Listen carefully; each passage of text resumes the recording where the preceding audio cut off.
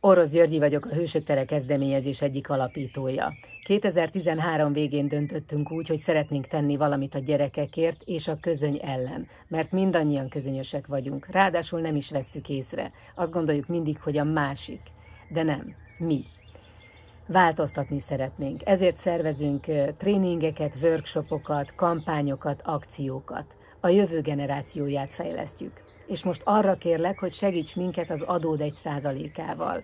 És ha teheted, most kattints a hősöktere.org-ra, onnan az ügyfélkapudon keresztül a személyi jövedelemadó bevallásodhoz, ez csak egy gomnyomás, és dönts az adód egy százalékáról a javunkra. Ha te is úgy szeretnéd, hogy azok a gyerekek, akik most felnőnek, merjenek tenni és kiállni másokért a mindennapokban.